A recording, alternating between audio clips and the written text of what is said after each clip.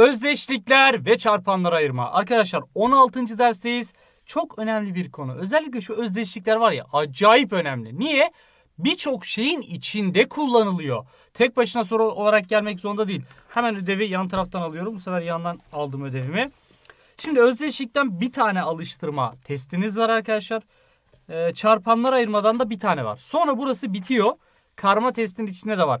Birinci de dereceden denklemler, çarpanlar ayırma, özdeşliklerle alakalı bir, iki, üç tane karma test var. Sonra motivation. Bak diyor ki ulaşmak istediğin bir hedefin yoksa çalışmaktan zevk alamazsın. Bir hedefin olmalı. Hepimiz ileriye yönelik güzel bir meslek hedefliyoruz değil mi? Güzel bir hayalimiz olsun. Yani güzel hayallerimiz gerçekleşsin. Güzel bir okul kazanalım. Güzel bir mesleğimiz olsun. İyi bir hayat istiyoruz. Yani bugünkü çabaların senin geleceğe yaptığın bir yatırım. Boşuna değil. Öğrencilik bir eziyet değil. İstersen okula gitme. istersen çalışma. Eğer güzel bir işin varsa ya da baban çok zenginse keyfine bak. Ama birçoğumuz öyle değiliz. Artı baban çok zengin bile olsa eğer okumadıysan, eğitim almadıysan o zenginliği batırırsın. Bu da ayrı bir konu yani. Bunu bilin yani.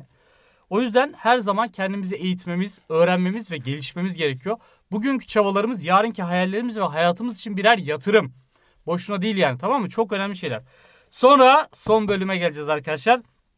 9. kısımda problemler, 10. kısım kümeler ve 11 fonksiyonlar. Dırınının problemlere geçiş yapacağız. Bu problem öncesi son dersimiz arkadaşlar. Ödevleri verdiğime göre özdeşliklerden başlayalım. Şimdi ilk özdeşliğimiz, en önemli özdeşliğimiz bence iki kare farkı. İki tane kareli ifade birbirinden çıkarılıyorsa bir, bunların çıkarılmış haliyle toplanmış halini çarparsın ve artık kareye ihtiyaç yoktur. İkinci dereceden birinci dereceden dönüşür. Tabi bunlar çarpılınca yine ikinci dereceden üretilir. Peki x kare eksi y kare eşittir x eksi y çarpı x artı y. Bunu adını soyadınız gibi bilin. Peki bunu ispatlayalım. Bu doğru mu? Bak şimdi. x'i dağıtırsam x'e çarparsam ne yapar? x kare. Bu x'i bununla çarparsam artı x y yapar. Eksi y'yi x ile çarparsam eksi x y yaptı. Eksi y'yi artı y ile çarparsam eksi y kare yaptı. Bak artı y eksi y toplanınca sıfır olur. Ne kaldı? X kare eksi y kare. Aa bak baştaki şey çıkıyor. Bu işlemi biz hızlı bir şekilde atlamak için diyoruz ki iki kare farkı bulacağım. Tamam. İki tane tam kare bulacağım. Bunları bir çıkaracağım, bir toplayacağım ve çarpacağım. Bitti. Bak. x kare eksi 4. Hocam 4 bir şeyin karesi değil. Yavrum. İçindeki gizli kareyi gör. İçindeki gizli hazineyi gör. Bu x kare 4 dediğim şey 2'nin karesi. Bak bu formata uydu mu uydu x. X'e y 2'ye karşılık geliyor. O zaman tabanları x ile 2'yi bir çıkarıyorum bir topluyorum. Bitti. Aradaki işlemin çarpı olduğunu unutmayın. Hepsi bu kadar. Buraya bakalım. 5, 25 a kare. 25 dediğim şey 5'in karesidir. A kare zaten a kare. Şimdi burada 5 ile a'yı bir çıkarıyorum. 5 eksi a çarpı 5 artı a. Bitti. Bu kadar. Buraya gelelim. 9x kare. 9 neyin karesi? 3'ün. Ha, burada 3x'in karesi var. Eksi 1 nedir? 1'in karesidir zaten hazır. Bakın burada 3x de 1'i bir çıkarıp bir toplayacağım. 3x eksi 1 çarpı 3x artı. Böylece çarpma işlemine çeviririm bu toplama çıkarmaları. Sadeleştirme falan olur. Burada 9x karenin 3x kare yaptığını unutmayın. Mesela 16x kare nedir? 4x'in karesidir. Mesela 25a kare nedir? 5a'nın karesidir. Bunları unutmayacağız. Yani bunu sakın 9x kare diye almayın. 3x'in karesi olacak. Devam edelim. Şöyle bir problemi çıkabilir. Yukarıdaki şekilde verilen mavi karenin bir kenar uzunluğu x birim. Tamam. Y'ninki de sarınınki de y birim. Mavi karenin alanı sarı karenin alanından 65 birim fazladır. Yani bunun alanı nedir? Biliyorsunuz dik kenarları çarparsın x çarpı x x karedir. Bunun alanı nedir? Dik kenarları çarparsın y karedir. Bu mavinin alanı sarının alanından ne kadar fazlaymış? 65 birim kare. Yani x kare mavinin alanıdır y kare sarının alanıdır fark 45. Bitti. X kare eksi y kare. Bak iki kare farkı veriyorum. Boşuna değil. Tamam. İki karenin çevreleri toplamı da 60 birimdir. Çevre nedir?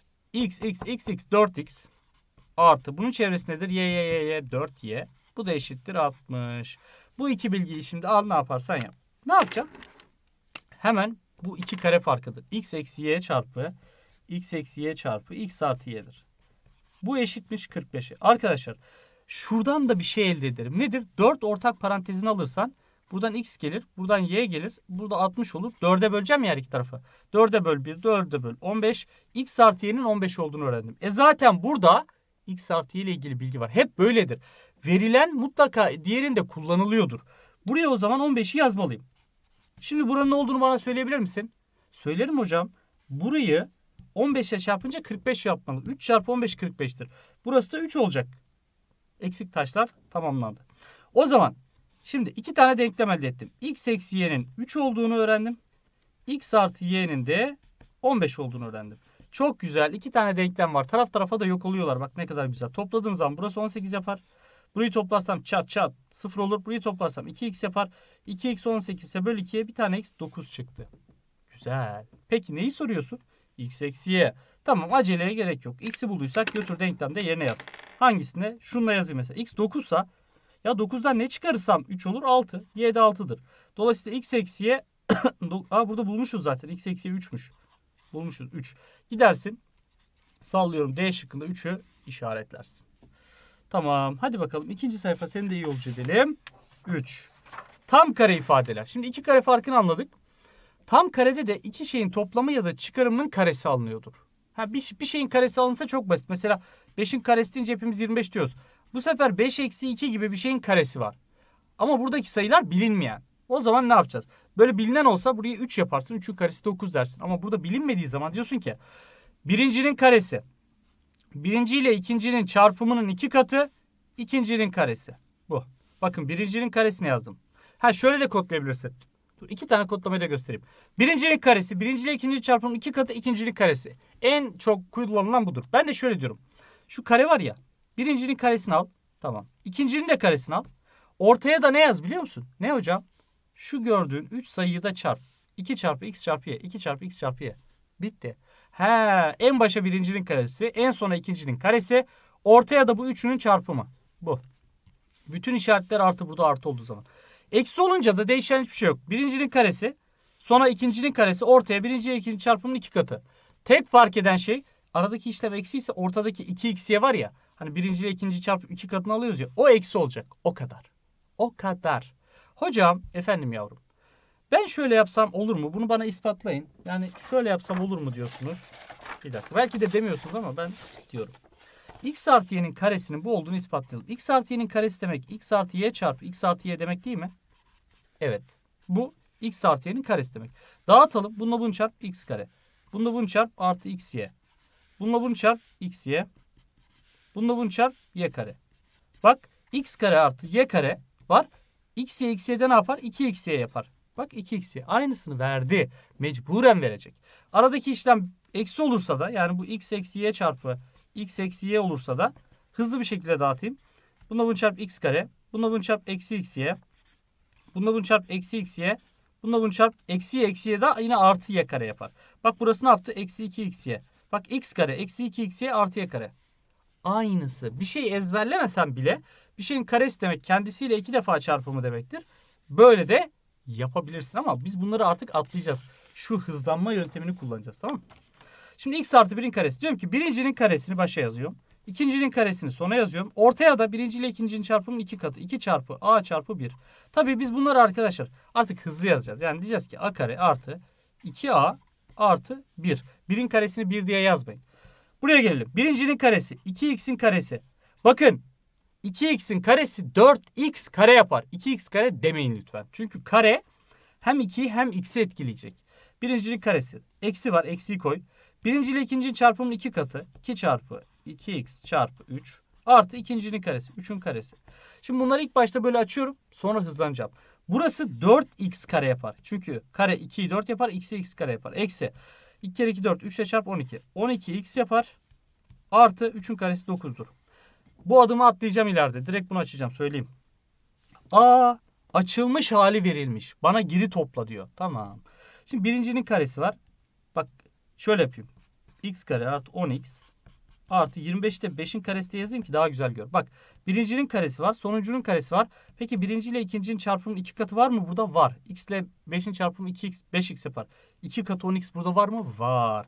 He, o zaman bu x artı 5'in kare açılımıymış. Kontrol edelim. Birincinin karesi. Birinci ile ikincinin çarpımı 5x'tir. 2 katı 10x var.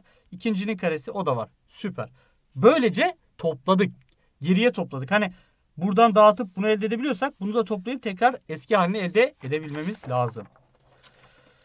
Çarpanlarından biri hangisidir? Şimdi bu tür sorularda neye dikkat edeceksin biliyor musun?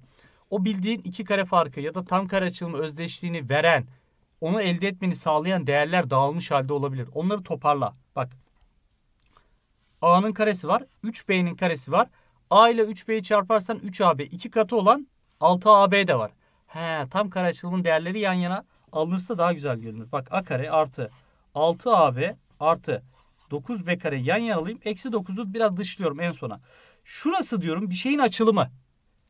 Bir şeyin karesi başta bir şeyin karesi sonda 3B ve A'nın kareleri var. Ve 3B ile A'nın çarpımının iki katı olan 6AB ile var. Hemen anlıyorum ki burası A artı 3B'nin karesi yapar. Bak birincinin karesi. Birinci ile ikincinin çarpımının iki katı. ikincinin karesi. Hepsi var. Eksi 9. Aa hocam niye 9 yazdınız? 3'ün karesi yazın. Evet evet gencolar doğru diyorsunuz. 3'ün karesi. Niye? 2 kare farkı var. Yani tam kareyi yaptık. 2 kare farkı da çıktı. Niye? Aradaki işlem eksi. Bu da tam kare bu da tam kare. Heh.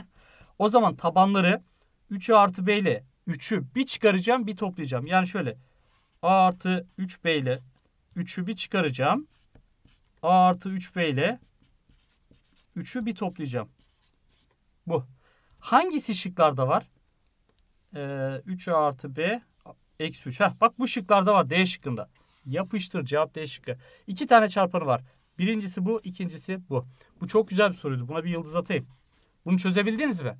Çözemediyseniz bile pdf'i indirin. Benden sonra çözün. Sıralama önemli değil. Benden önce çözsen tabii daha güzel ama çözememiş olsan bile mutlaka bunun çözümünü kağıda yaz.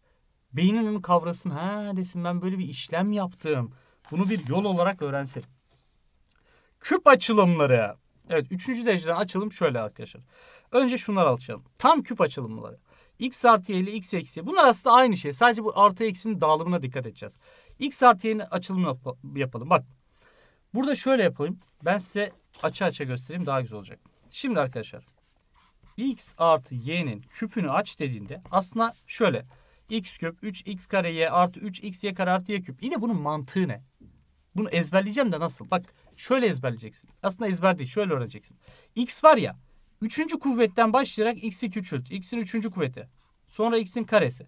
Sonra x'in birinci kuvveti. Sonra x'in sıfırıncı kuvveti. Sıfırıncı kuvvet birdir. Tamam biraz sonra kaybolacak bu. Sonra y'nin kuvvetini de sıfırdan itibaren arttır. Bununla çarparak y'nin sıfırıncı kuvveti. Çarp y'nin birinci kuvveti. Çarp y'nin karesi. Çarp y'nin üçüncü kuvveti. X'i azaltarak gittim. Y'yi de artırarak gittim. 3'ten 0'a kadar bunda 0'dan 3'e kadar. Tamam. Sonra kat sayıları veriyoruz. Kat sayılar 1, 3, 3, 1'dir. Bunu ezberleyeceksin. Kesinlikle. 1, 3, 3, 1. Kat sayısı 1'dir. Kat sayısı 3'tür. Kat sayısı 3'tür. Kat sayısı 1'dir. Tamam. Şimdi bak ne oldu? 1 çarpı bir şey yazmaya gerek yok. Y üzeri 0 da 1'dir. Yazmaya gerek yok. Burada sadece x küp kaldı. Buraya bakalım. 3x kare 3x kare. Y üzeri 1 y'dir. Tamam. Buraya bakalım. 3x y kare. 3x y kare. Birinci kuvveti yazmaya gerek yok biliyorsunuz. X üzeri 0 1'dir. 1 ile çarparsam 1'dir. Y küple çarparsam y küptür. 1 ile çarpanları yazmaya gerek yok.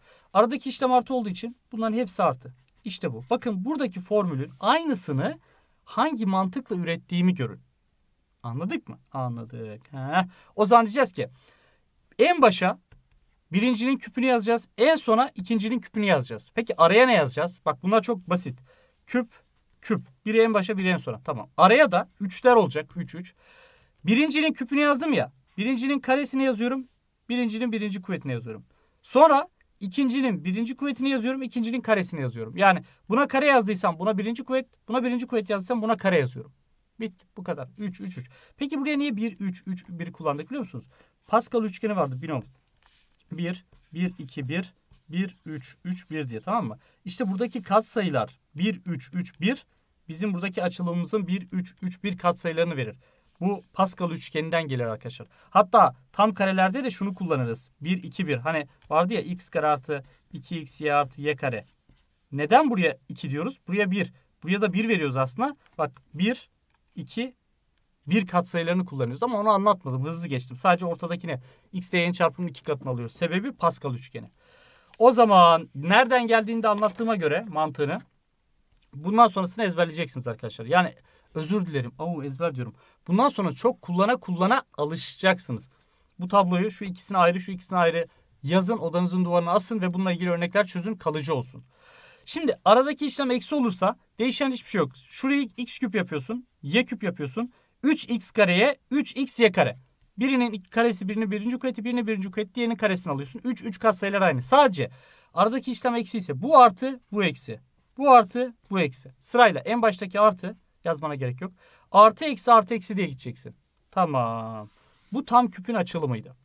Şimdi gelelim iki küpün toplamı ve farkına. İki küpün toplamının da formülü şudur. Bakın dikkat edin arkadaşlar. Burada parantez vardı. Biz parantezli küp açılımlarını açtığımızda parantez olmadı. Hiç parantez yok. Tüm parantezler kalktı. Buradaysa parantez yok. İki küpün toplamı var. Bizim yapacağımız işlemde parantez olacak artık. He, güzel. Şöyle yapıyorsun. Birinci ile ikinciyi topluyorsun. Çarpı. Birincinin karesi. Birinci ile ikincinin çarpımı. Bak iki katı yok. Birinci ile ikincinin çarpımı. ikincinin karesi. Ve bu denklemin içinde bir tane eksi olmak zorunda. Senin burada artın varsa burada eksin olmalı. Burada eksin varsa burada artın olmalı. İkisi birbirinin aynısı. Tek fark bu. Tabii ki şuna bakacağız. Ee, yani tek fark bu derken kat sayılar ve denklemler aynı işaretlerde fark var. Ne gibi? Burada artıydı. Artıyla başladın sadece bunun önüne eksi getirdin. Ama burada eksiydin. Eksiyle başladın. Bunun önüne bu sefer artı getirdin. Değişiyor işaretler. Artıyla başlıyorsan artıyla gidiyorsun. X ile y'nin önüne eksi koyuyorsun. Eksiyle başlıyorsan eksiyle gidiyorsun. X ile y'nin önüne artı koyuyorsun. Yani 1 artı 1 eksi olacak. 1 artı 1 eksi olacak. Yerlerine dikkat edin. Eksi, ipucu şudur. Eksiyle başlıyorsam eksisi burada. Buradakiler artı olacak. Artı ile başlıyorsam artısı burada. Buradaki eksi olacak diye bunu da ezberleyeceksin. Ya bunun da mantığı ispatı var da şimdi girmeyelim oralara uzamasın. X artı 1'in küpü. Aa tam küp açılma. Birincinin küpü. Bak nasıl yapıyorum. İkincinin küpü. Sonra yazıyorum. Birinci ile ikinci çarpımın iki katı falan yok burada. Küp bu. 1, 3, 3, 1 kat sayısını hatırla. Buraya 3 yazıyorum. Buraya 3 yazıyorum. Buraya ne yazacaktım? Bunun karesi. Bunun birinci kuvveti. Buraya ne yazacaktım? Bunun birinci kuvveti. Bunun karesi. Tamam. Aradaki işlem artı mı? Artı. Bitti. Yani a küp artı 3a kare artı 3a artı 1. Böyle yazacaksın. Tamam. Bak 1, 1, 3, 3 katsayıları var. a küp, a kare, a. a'nın kuvvetleri gittikçe artıyor. Birin kuvvetleri gittikçe bir, A'nın kuvvetleri gittikçe azalıyor pardon. Birinkiler artıyor ama birin bütün kuvvetleri bir ya. Burada yok olup gittiler çarpılınca. Şuraya gelelim. E hocam 8. Yavrum 8 dediğin şey senin x küp. Pardon parantezi gerek yok. 8 dediğin şey 2'nin küpüdür. Bak ne oldu? 2 küp farkı. Şuna uydu mu? Uydu. O zaman diyorum ki parantez yoksa ben demek ki işlem parantezli olacak. Diyorum ki x eksi 2'yi aynen alıyorum. x ve 2'yi bir çıkarıyorum. Çarpı Birincinin karesi. Birinci ile ikincinin çarpımı 2x. İkincinin karesi. 2'nin karesi nedir? 4. Uzatmadan biraz hızlı yapayım artık. Şimdi diyorum ki bu eksi ise eksiyi burada kullandığıma göre bunlar artı olacak. İşte bu arkadaşlar. Bakın şu. Farkını aldım. Karesini aldım. İkisini bir kere çarptım. iki kere değil. 2 ile x'i çarptım. 2x oldu. İkincinin karesini aldım. Finito. Bunlar önemli. Gerçekten bunları çok tekrarlayarak ancak akılda tutabilirsiniz. Söyleyeyim. Bir kenar uzunluğu x birim olan küpün bir köşesinden bir kenar uzunluğu y birim olan bir küp çıkarılıyor. Ne azaldı? Hacim. Yüzey alanı değişmedi. Bak yüzey alanı şöyle anlatayım sana. Buradan bir parça kopardın ya. Karşıda yeni bir parça oluştu. Bu taraftan bakınca şu parçayı kopardın ya. Karşıda yeni bir yüzey oluştu. Yeni parça. Üst taraftan bir yüzey kopardın ya. Burada yeni bir yüzey oluştu bak şurada. Aslında yüzey alanı değişmedi. Ama hacmi değişti. Yani havada kapladığı boşluk değişti.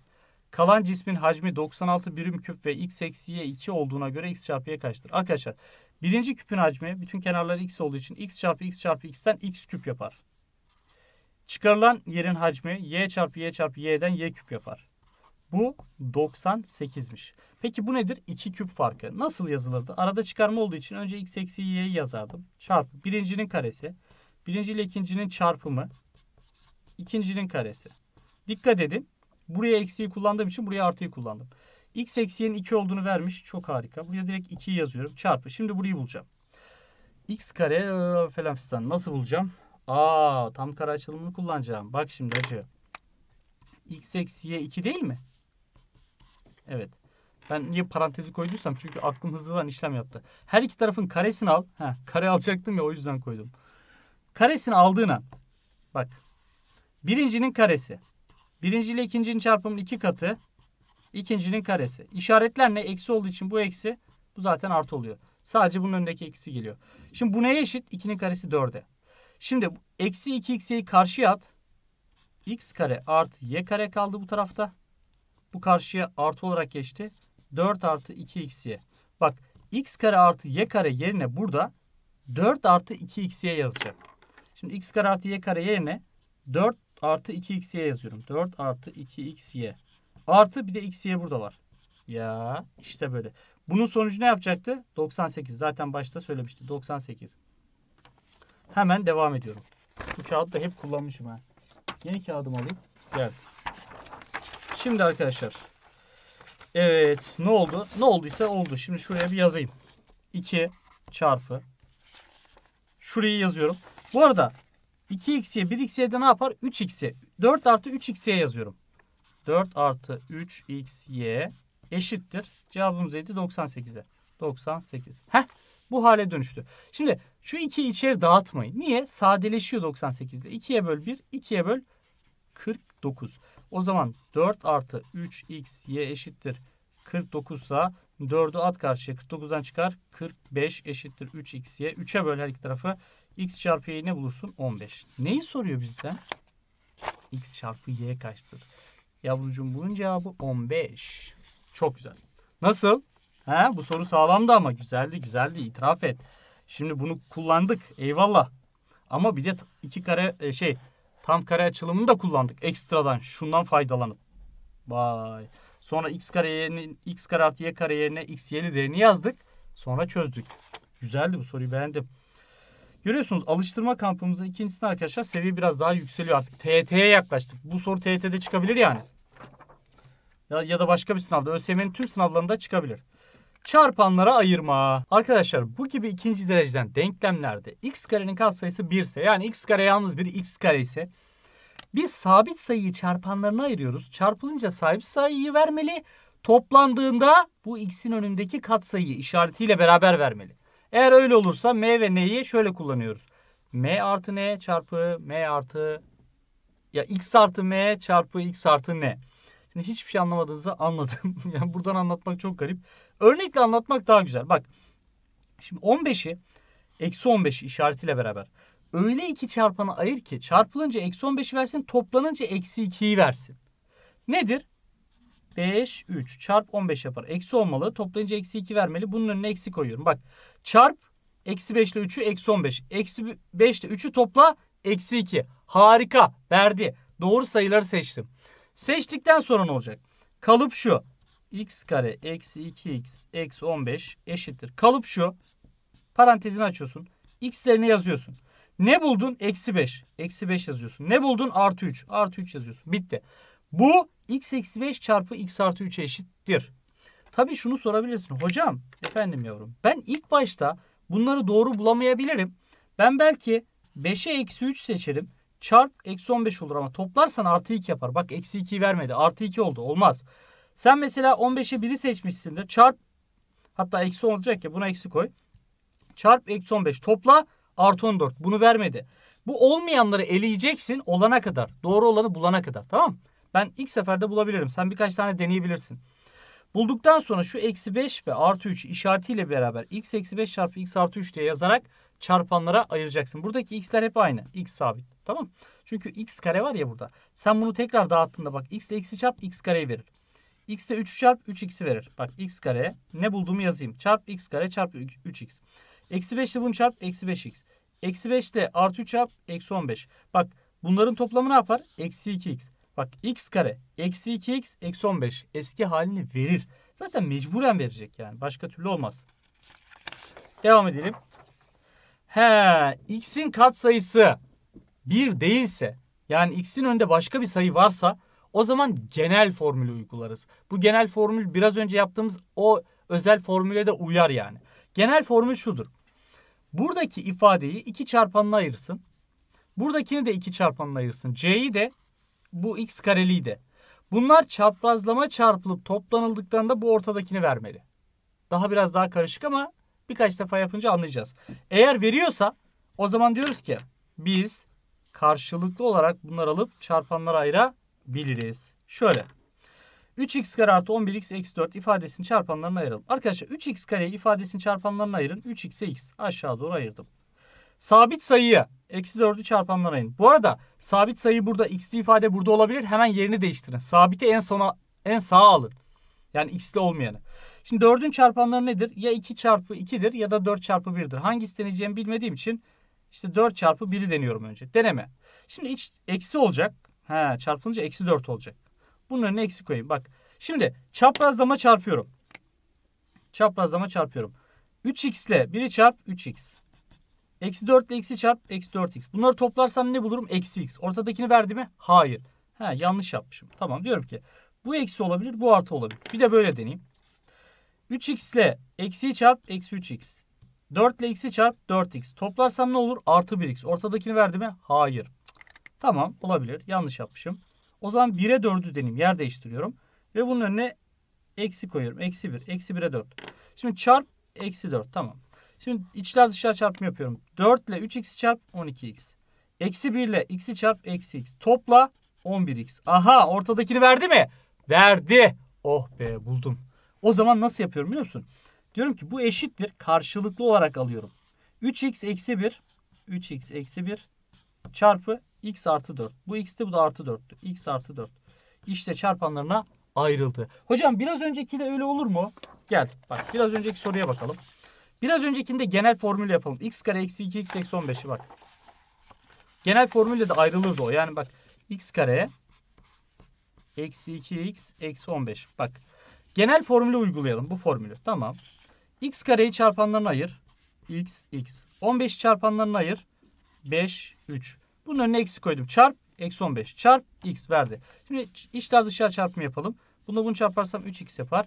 Bunu bunu çarparsam eksi 5x yapar. Toplayınca eksi 2x verdi. Verdi mi ortadakini? Verdi. O zaman karşılıklı olarak yazalım. Karşılıklı ne var? x eksi 5 işaretiyle beraber çarpı x artı 3. Şimdi artı yok hocam. Ya yavrum 3'ün artısı yazılır mı? Önde artıdır işte. x eksi 5 çarpı x artı 3. E biz ne bulmuştuk? Aha burada. x eksi 5 çarpı x artı 3. Aynısı. Mecburen aynı olacak. Bu genel yöntemdir. x karenin katsayısında ama böyle 1 varsa biz bunu hızlandırmak için bunu burada hemen çarpanlarına ayırırız. Deriz ki yani 5'e 3 buna eksi koy çarpı eksi 15 topla eksi 2 hemen x eksi 5'e x artı 3 diye yaparız. Hızlı yöntemiydi yani o. Farklı bir şey öğretmiyorum aslında aynı şey. İlk öğrettiğim biraz daha hızlı versiyonu. Şimdi şu kağıdı ayrı atmayacağım çünkü kesin burada lazım olacak. Oo, değişken değiştirme. Ya bir derste size bayağı bir şey özetliyorum ha. Değişken değiştirme nedir? Arkadaşlar ya bakıyorum x kare eksi 2x'in bir daha karesi var. Bir şeyin bir daha çarpanı var. Ya şu x kare eksi 2x burada da ve burada tekrarlamış. Çarpanlarından bir değildir. Diyorum ki değişken değiştireyim. Şöyle.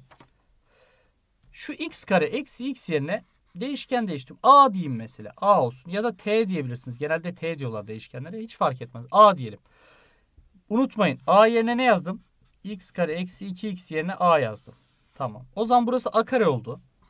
A kare eksi 11 çarpı A oldu. Artı 24 oldu. Hadi bunu çarpanlarına ayıralım. A hocam x karenin ya da yani A karenin katsayısı 1. Bunu hemen bacaklarına ayırın. 24'ün çarpanlarını söyleyin. 8'de 3. Çarpınca artı 24 verir. Ama toplanınca artı 11 verir. Burada eksi 11 var hocam. Yavrum o zaman eksilerini dene. Eksi 8 ile eksi 3'ü çarparsan da artı 23 yapar. Toplayınca da eksi 11 yapar. Bulduk. Doğru. İstersen sen işte 6'ya 4'ü dene falan. Bunlar olmayacak. Olmayanları boşuna uğraşmıyorum. Olanları buldum. O zaman diyorum ki sayı A her zaman yazılırdı. A. Bulduğum sayılar ne? Eksi 8, eksi 3. Eksi 8, eksi 3. A eksi 8 çarpı A eksi, A eksi 3'tür. Tamam. Ayırdık fakat benim denklemim x'liydi. A nereden çıktı? Değişken değiştirmiştim. Şimdi a yerine x kare eksi x'i x kare eksi 2x'i tekrar yazıyorum. Öyleyse diyorum bu denklem şu hale geldi bak. a yerine x kare eksi 2x yazıyorum. x kare eksi 2x eksi 8 oldu. Çarpı. Burada ne var? a yerine yine x kare eksi 2x yazıyorum. Eksi 3 oldu. Heh. Çarpanlar ayrıldı. Oha. Pardon oha diyordum az kalsın. O diye çevireyim. O bir daha ikinci dereceden denklem çıktı.